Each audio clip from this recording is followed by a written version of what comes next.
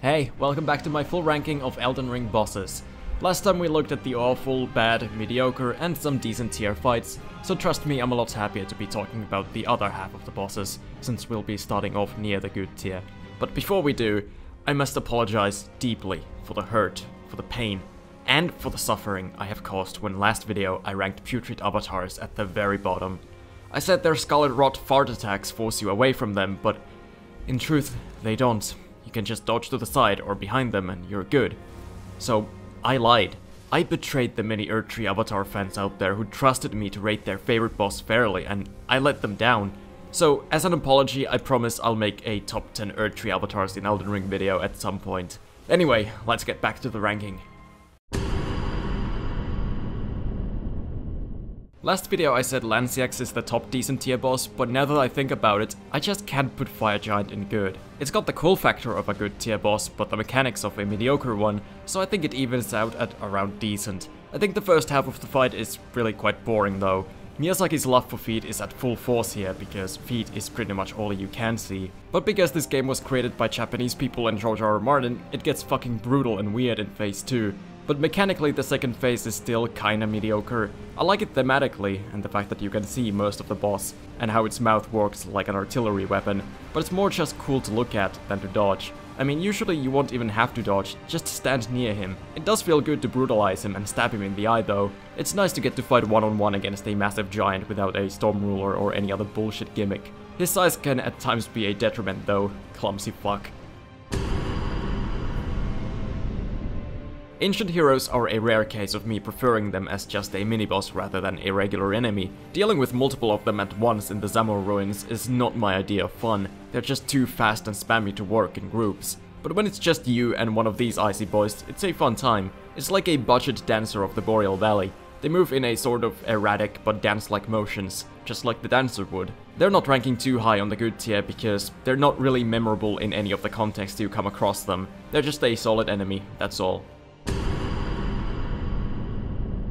I would say pretty much the same for the Bloodhound Knights. They feel like a mix between Black Knife Assassins and Slave Knight Gale's first phase, and it takes good aspects of both. They fight like feral, half-human, half-animals like Gale does, but also move around as quickly and fluidly as the Black Knife Assassins. So again, nothing really bad about them, just not as memorable as some of the other bosses. I like the Dragonkin of Nokstella quite a bit for one reason. I really don't like the basic Dragonkin soldiers. I think they're just a more annoying version of trolls where they have jank hitboxes and even jankier camera, but the Nokstella version takes that mediocre boss and turns it into a good one by introducing it to frozen lightning attacks, however the hell that works. The boss also has wings now, which allows it to fly up in the air and spread that ice lightning everywhere. It's easy to avoid because of how well telegraphed the danger zones are, but it's fun nonetheless. The Grave Warden Duelist is probably the most forgettable good boss in the game, which is a shame, they could have done something cool with these guys because their moveset is kinda badass. This guy's dual-wielding hammers attached to a chain, which allows him to use them as sort of flail-like weapons, and I like that. I think it's fun seeing more unique weapons instead of everyone just being guy with sword. It also enables him to have cool attack patterns. Up close, he'll just bonk you with the hammers, but if you create distance, he'll change those attacks to include the chain mid-combo. Also, that helmet is fucking nice, I want it. This is the least stress-inducing boss in Elden Ring. If anything, it's relaxing because of the music and the easiness of the mechanics. It does make it less interesting as a boss fight though.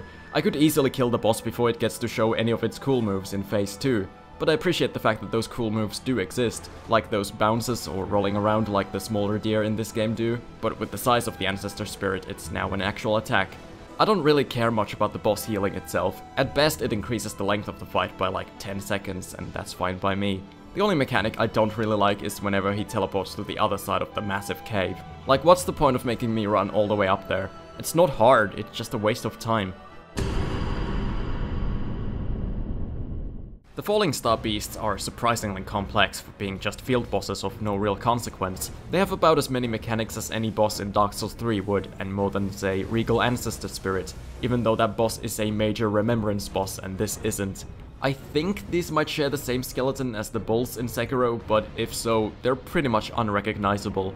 They have hoofs and a bull charge, but that's about it for similarities. Well, actually, they're both pretty much equally hated by the community. But are there really any bullshit mechanics here? No pun intended. I really don't think so. Maybe the laser being able to one-shot you is, but it's easily avoided, so, like, just don't get hit. I like that you can stop the bull charge by hitting the boss in the head while it's doing it, and it gets staggered for a while too.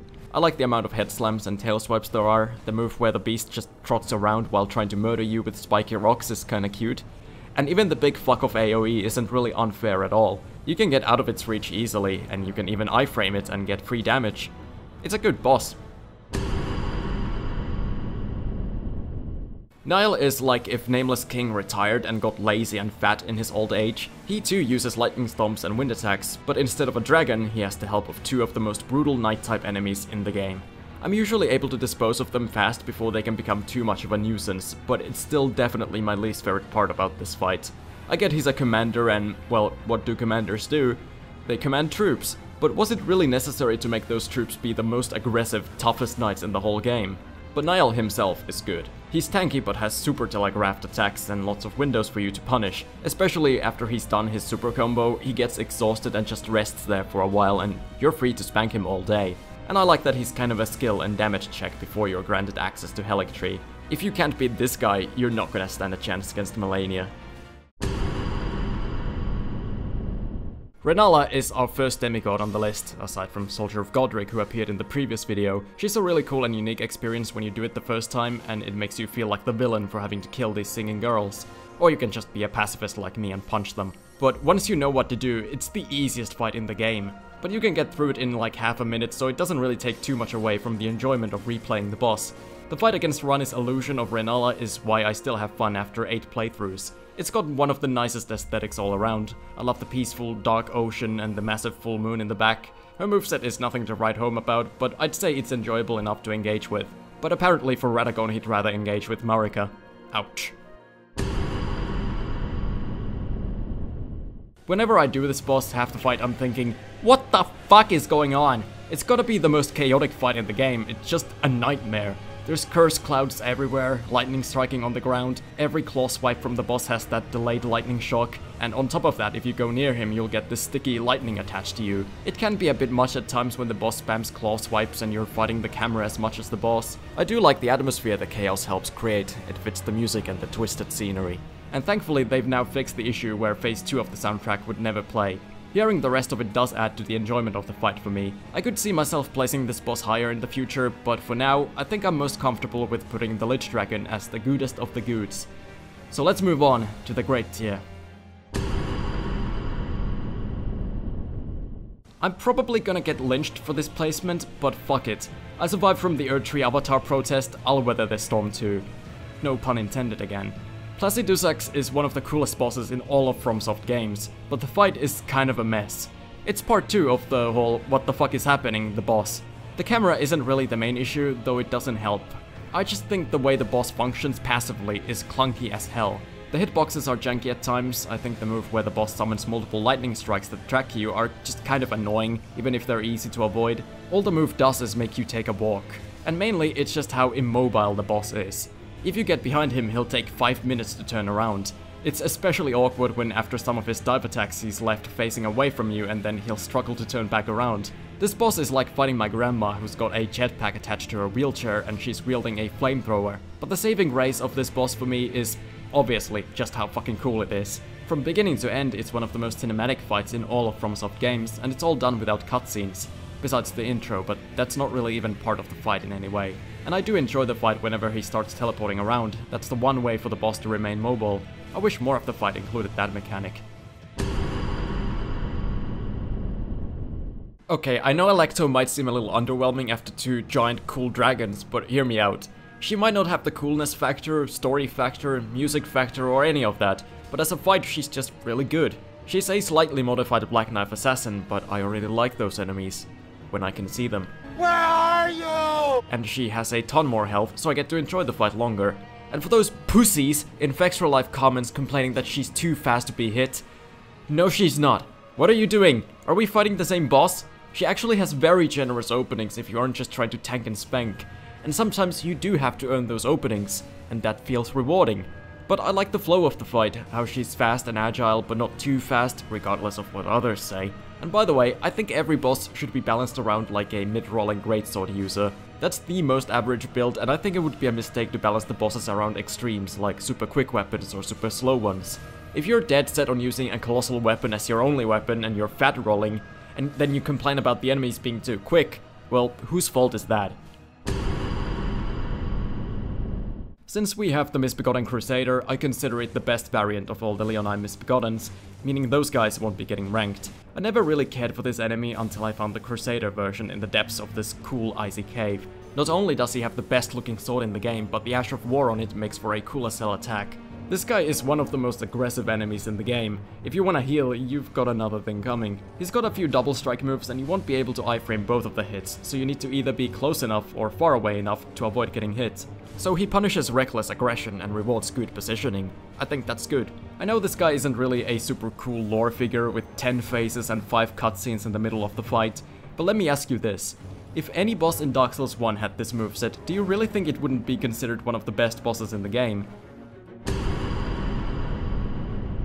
This guy is such a chad, he doesn't need much health. He'll just kill you before you can kill him and that's all there is to it. I like the telekinesis sword and how he can mix its attacks with his regular combos to throw you off. He can also use it as a damn drill. It's a very simple moveset, but again with those mix-ups it's deceptively difficult. When he does his regular combos the hits are fairly quick, but if he does the telekinesis sword moves, those attacks come with abnormal delays. There isn't much to Elemer, but sometimes a well-designed simple moveset and a badass design is all you need to get into the great tier. You know, even though Astel Natural Born of the Void is the boss that gives you a remembrance, Stars of Darkness is kind of a more complete version of this boss, with a much scarier grab and the complete soundtrack instead of just the first movement. And I like where you discover this boss. Fighting an alien deep under the ice will always tingle my love for the thing. The music and the visual design also add into that creepy atmosphere I always enjoy. As for the fight, it's honestly good. Back when I first ranked Astel, I didn't have a whole lot of positives to say, but I've begun to appreciate it more and more. It actually nails what Darkeater Midir got right more than any actual dragon boss in this game. Every attack has a punish, and despite how oddly shaped and massive the boss is, the head is pretty much all you should focus on. That's really the best way to design this kind of fight. I like how fairly telegraphed his bites are as well. Every time he's about to pinch you, he kinda snaps his jaws first. Otherwise it would probably be too hard to see the attack coming and all his other moves are just really cool looking. I don't even mind the AoE rings he can create. The ones that cover a bigger radius will have a long enough startup to let you run away, and you can always just iframe the last explosion. Plus, it's a good way to prevent the players from just hiding under the boss the whole fight. I understand now why so many people defended this boss in the comments. And I know what it might look like, that for the guy who claims his opinions are objective, I seem to change my mind a lot. But here's the thing, I don't change my mind. The bosses just become better or worse if I say so. That's how it works. Margit Good is a really good boss, but man, this guy is insane for being pretty much the first main story boss. This was my asshole prior to Margit, and this is my asshole after Margit. I don't think the devs even realized how hard this fight is, considering Godrick is way easier, and hell, even Morgott is easier, who's just the ultimate version of this boss. It seems they thought making his hits slow would automatically make him easier, but it's actually the opposite. It's the delays we all struggle with, because just when it looks like the boss is about to hit, they then hold it and unleash it right as you're done rolling. Not only that, but there's combos that can be followed up by instant dagger strikes, and you just need to memorize when he can do that. If this is your first proper FromSoft boss, I really think it's too much. Don't get me wrong, I can do the fight just fine. I've learned it, I enjoy it. For me personally, the only real downside is the music and the impact. Music is meh, there are no real stakes to the fight, because not only do you have no idea who he is by this point, but he doesn't die when you beat him. He just appears to say hello and then pieces out. I will always remember Rykard, Lord of Blasphemy. No matter how many more weird and crazy bosses they'll make, there's no way this one won't stick out in my mind for years to come. I think it's probably the best gimmick boss they've made. It's absolutely better than Yhorm in every single conceivable way. Well actually I think Yhorm's soundtrack is a bit better, but when it comes to visuals, can this really be topped? I mean, the giant snake alone is pretty scary and you feel like a badass just for not running away from it. But, well, the second phase. Does it really even need to be said? I love this guy's voice, by the way. It's definitely the voice I would expect for a guy who just pulled out a worm-infested sword the size of a bust out of his throat. Now let's talk about the fight itself. It's decent, that's all.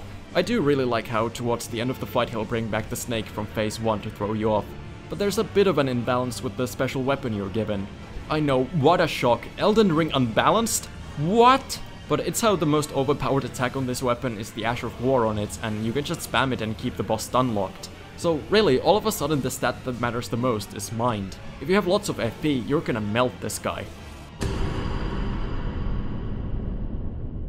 Again, it's weird to transition from a giant god-devouring snake into a nameless guy on a horse, but that's what happens when we mix main bosses with mini-bosses. I can't just have all the main ones at the top just cause they're cooler thematically. Then again, take one look at this guy and tell me he's not the coolest motherfucker you've ever seen. Draconic Tree Sentinel is the kind of reskin boss I'm completely okay with. I don't want to see a dozen Erdtree avatars with little to no changes. Again, no offense to the Erdtree fans out there, I know you can avoid the Scarlet Rot without running, thank you. But this guy is great. He's essentially Havel on horseback. They have massive clubs that will hit hard and reach anywhere with their shockwaves, made worse when buffed with Dragon Lightning. Though iframing those big slams empowered by giant lightning shocks does feel really satisfying, cause you know if you mistimed it, you'd just be dead.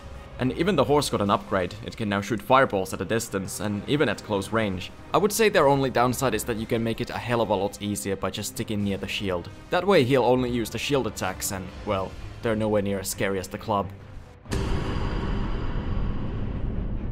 Loretta is another really good Tree Sentinel variant and definitely the hardest of them. Sometimes it feels a little unwarranted with how much damage she does, but if we look past that, everything else is really solid. She can't be trivialized by hiding at her shield side, she's just as deadly at range as she is up close. She's faster than the other sentinels as well, and I just like how she's a horse-riding battle mage. I've always liked the fantasy of heavily armored battle mages.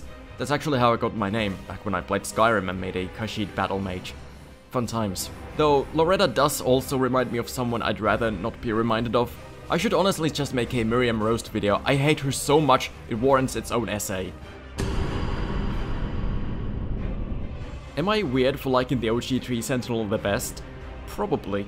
But to me he's the perfect start to a new playthrough every time. He's the first actual boss I came across that felt beatable, unlike Grafted Scion and definitely unlike Soldier of Godrick. But it did still seem pretty hard at that point, so I waited until I got the horse so I could do a little jousting with him, and that was fun.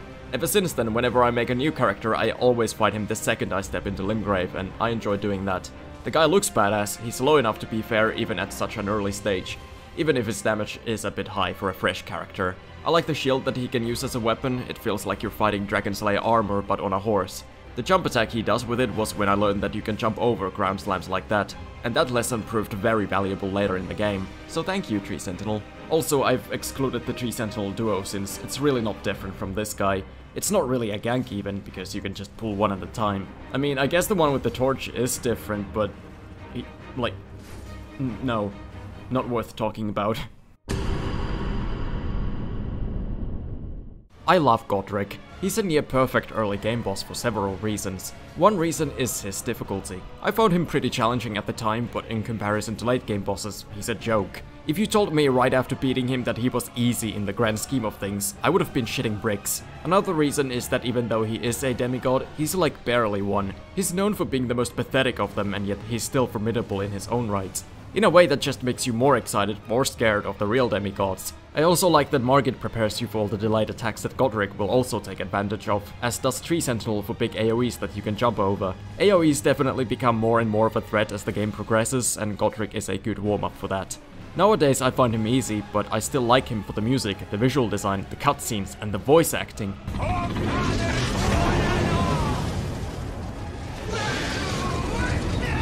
He's like a raving, arrogant madman grasping at lost glory. But, I mean, to his credit, wielding a dragon's head as a flamethrower is pretty glorious. When I first discovered the Godskin Apostle residing at the depths of the Divine Tower of Caelid, I was severely underleveled, but like the stubborn mule cat I am, I kept at it. And what a fucking fight it was. He spins around super fast to the point that you can't iframe all of it. Instead you need to create distance. It's a little bit similar to how the Misbegottens function, but even more complex. But the special moves in Phase 2, well, that's a whole new problem to deal with. I've never seen a boss just stretch out like a floppy inflatable man. It's kind of funny and creepy at the same time, I like it. He has this one move where he can turn his twin blade into a propeller, and once he becomes a stretchy snake man, he can launch himself at you while spinning it away, and it feels so good to dodge through. Godskin Apostle by himself is a top 10 worthy boss in Elden Ring, so it's such a pity that they didn't come up with a better ultimate Godskin boss. I've been waiting for a fun innovative gank boss since Sekiro and I'm still waiting. Crucible Knights are the coolest enemies in the whole game. They're just big dick chads. Or in Siluria's case, big clit I guess. So yeah, I had trouble deciding how I'd rank all the various Crucible Knights, since there's ones with spears, ones with sword and shield, but some of them have different special moves and then there's one fight where you fight two of them at once. So fuck it, I'm just putting them together, because as a whole, they are the best mini-bosses in the game. The ones with sword and shield are really well telegraphed, there's no bullshit gimmicks, just a guy with a sword versus you. But it's done incredibly well. Usually in phase 2 they'll start using magical tail swipes, which will alter their punishable windows, but not decrease the amount of them. I'm a fan of that type of mix-up. There's also one in Farum Azula that breathes fire instead of having a tail whip, and I love that fight, even if it doesn't have a boss health bar. The spear variants kinda feel similar to Godfrey in some ways, especially how they drag their spear around and do a cute little spin. I'm not so fond of the grab though, it does stupid damage. But their projectiles and spear dives look awesome, so I forgive them. If the ultimate Crucible Knight was one that had all of their abilities, that would be so fucking sick. Instead, Ordovis is pretty much the ultimate Crucible Knight boss, and it's alright if you use spear dashes, but an awful gank without. The final boss of Elden Ring is as great of a great boss as a great boss can great not quite great enough to be amazing. Radagon is the culmination of all the game has been teaching you up to this point. Big AoEs, watch out for them. Delayed attacks, watch out for them even more. I'd say my only complaint about Radagon is how his aggression can be a bit inconsistent at times. Sometimes he's, you know, pretty chill, not too bad. Other times I think he needs anger management therapy. Like, oh my fucking god, this guy is going apeshit, calm the fuck down, dude. Then we get to Elden Beast and, oh boy, you guys don't like it at all. Lots of comments were asking me why this thing didn't appear in the previous video near the bottom of the ranking. Well, that's partially because he's tied to the same fight as Radagon, but even on his own, I do think Elden Beast is decent. Like many of you, I don't enjoy when he becomes evasive and you just have to run after him. I also used to despise the chasing star attack, but I'm pretty sure they've nerfed it now. They patched the game recently and now it seems to be a lot easier to evade. So when the boss doesn't run away too much, we've got ourselves a solid boss. Cool as shit looking attacks, beautiful music, and thematically, the perfect end boss. Now, if they had designed this boss around Torrent, it could have been amazing. That would solve the issue of chasing after the boss, and I could imagine just jumping over the Elden Beast's projectiles and how fun that could be. Maliketh is amazing, and it's not even close to being excluded from the tier.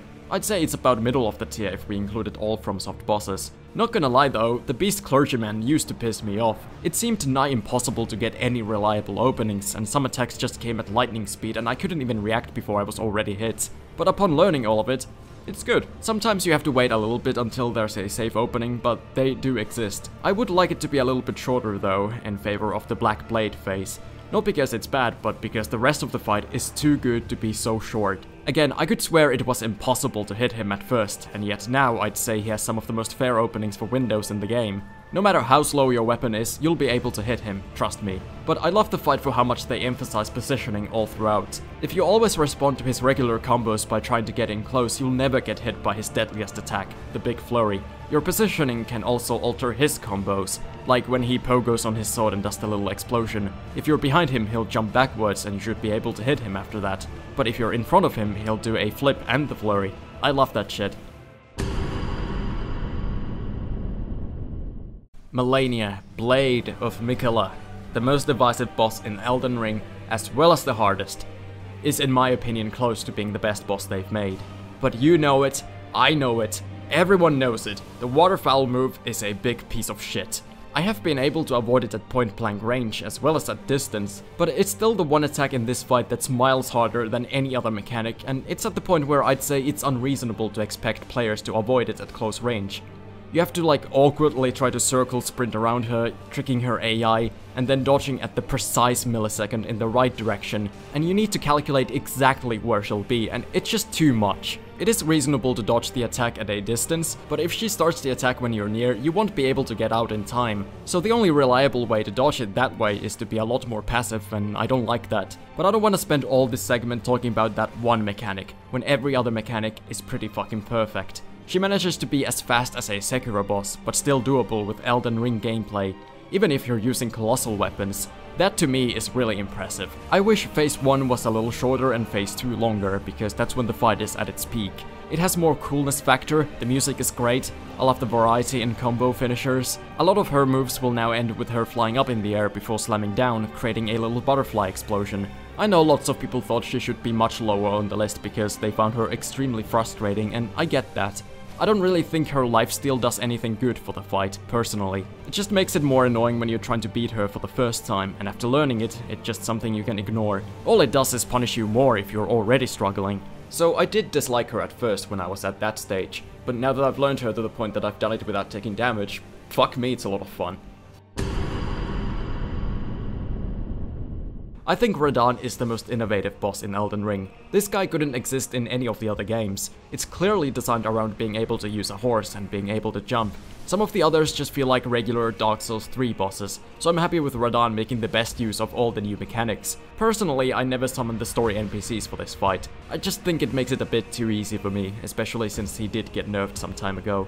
But it still was awesome when first playthrough me and the boys just charged into battle against this hulking monster man. Even his favorite element, gravity, is completely unique to Elden Ring. After Dark Souls 3 I did get a little tired of everyone having flaming swords, and I like that Radahn can be fought just as well on horseback as on foot. His second phase I wish lasted forever, it's the coolest fight in the game. I love jumping over his gravity waves or iframing the whirly tornado-ish move. Since it's such a cinematic boss I wish the music fit in equally as well, it's just not as out there and loud as I'd want it to be. I love the last like 40 seconds of the song, but the boss is always dead before we get there, unless I intentionally drag it out, which I do sometimes do because I love this fight so much. Morgott was my number one in the original ranking, and I don't really regret it. He absolutely was the most enjoyable boss for the first few playthroughs. Some did find the placement questionable for one of two reasons. Either they thought the boss was too easy to be the best, or they thought the boss was just super spammy and you could never hit him before he'd start another chain of combos. First point I agree with and that's why he's not number one this time around. I find him decently well balanced for some weapons like greatswords, but pretty much anything else will make him too easy. Especially katanas, faster weapons, or anything with bleed. With quicker weapons, you can get hits in on him while he's charging up his attacks, so even if it wasn't for bleed, he'd still go down fast. But people that say he's too spammy and has no punishable windows, well, that's just called being wrong. He has some super quick combos he can do as a follow-up, like whenever he slams his hammer to the ground. If you're close to him when he does that, he'll usually follow it up with the double sword combo. But here's an idea. If you don't want him to do it, don't dodge into him. There you go, problem solved. I like that about him, how you can control his patterns with positioning, and I just think the moveset is incredible. They're super fun combos, like, look at this. How can you not enjoy this? There's nothing I would really change about it, it's perfect. It's just his health and resistances that I wish were different. I also adore this guy's voice acting. Every line from him is fire. Thy kind are all of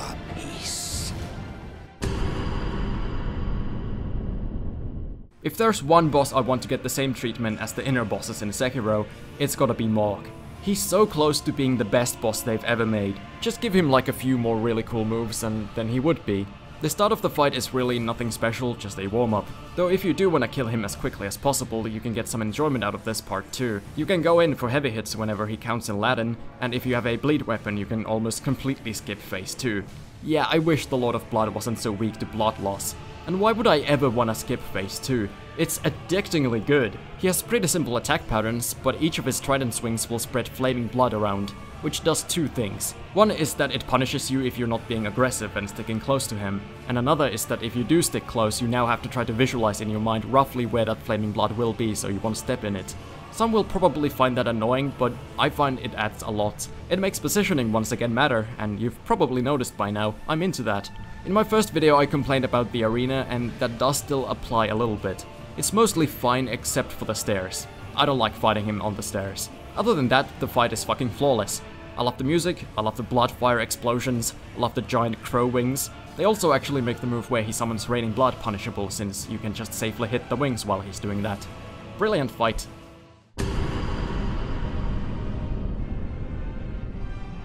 Godfrey, the first Elden Lord, aka Hoarah You've been hearing about this guy all game, and you even get a glimpse of him on your first visit to Leyndell. He's a fabled hero, someone everyone looks up to, and then you fight him, in his full wits, at his full strength. Although he is being held back from his true savage self at first, thanks to the giant lion hanging off his back. Apparently that's holding back his bloodthirst. But as you fight him in his first phase, it feels like you're fighting a noble warrior. He even compliments you on a battle well fought if you lose and it's deceptively easy to lose in this part of the fight. He has pretty slow attacks, but some of his follow-ups can come unexpectedly, so you have to match his methodical style of fighting and just study his moves and go for safe punishes. I like his AoE buff he gains halfway through as well, because you already know the timings to his attacks. Now he's just putting all that you learned to the test. I do wish you couldn't damage him while he was buffing though. I can often just end the phase by the time he's done doing that. But as you all know by now, at half health, he rips himself free of the restraints of being a noble Elden Lord and becomes the ruthless, bloodthirsty Hoarah Loux. Now, I must say, his voice acting or dialogue or both are just a bit off to me. Long and hard didst thou fight. Warrior! It doesn't ruin the fight or the cutscenes, but it's no Morgott, I'll just say that. But Hoarah Loux, the fight, is just a perfect change of pace from the first half. Fuck nobility, fuck weapons, he just ditches all of that and goes in for the kill. And he's good at that. It's no longer a dodge and punish type of fight, but the kind where you have to run around, mind your positioning, try to strafe behind him, watch out for roll catch moves. And he does the same buff as in phase 2, which again just ups the challenge in a fair way. To this day, after however many times I've beaten him, he can still catch me off guard. I love the sheer brutality, the animations on his attacks, on his grabs, on his kills.